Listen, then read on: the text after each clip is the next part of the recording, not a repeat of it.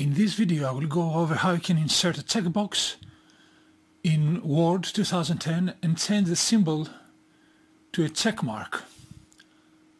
Let's see if I can do this. First of all, you need to make sure that the developer tab is visible. So from File, click on Options, Customize ribbon, and from the Main tab section make sure that Developer tab is visible.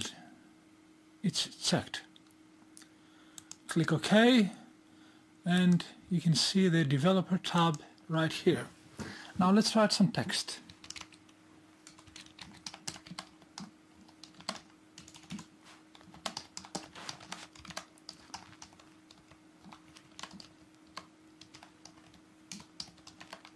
Would you like to be notified of future updates? And you can insert a checkbox from the developer tab the control section click on checkbox content control.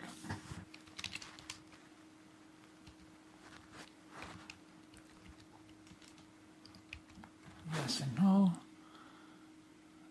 We insert a checkbox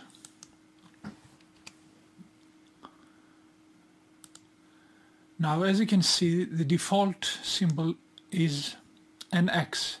Now let's see if I can change that to a check mark. Once again from the developer tab, the controls section, click on properties and from the checkbox properties section click on checked symbol, scroll down a bit and you will find it. It's the at symbol from the right, from the left. Sorry. Now click OK.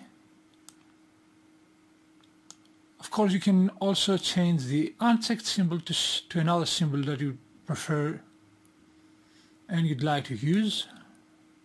Click OK and as you can see here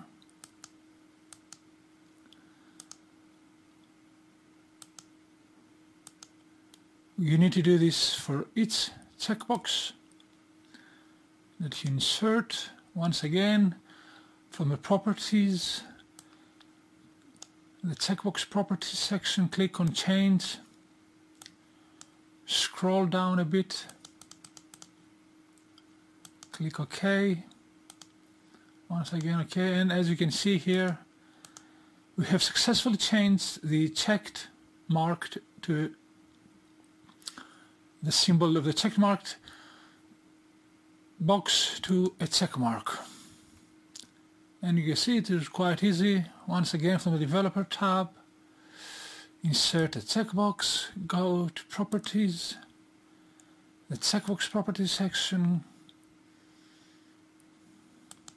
scroll down a bit, select the check marks, check mark symbol, click OK,